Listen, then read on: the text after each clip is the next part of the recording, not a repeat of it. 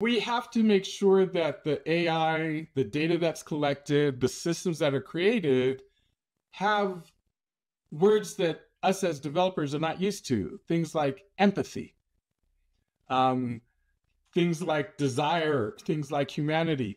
And this is why um, we're going to get into a, a, new level of um, quote diversity Whereas in the past, we've been worried about things like, ah, there's not enough women up in here. There's not enough black people. Yeah, it's like, forget all that.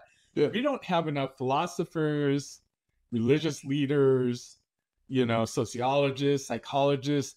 These are the people that need to be in the mix when we're talking about developing AI systems. I mean, just imagine you're creating a system that's going to essentially represent or proxy humanity and there's no humanness in the process. There's just a bunch of engineers. Well, how's that going to turn out? right? Right. All the pathologies that us engineers have are, are going to be reflected in these systems.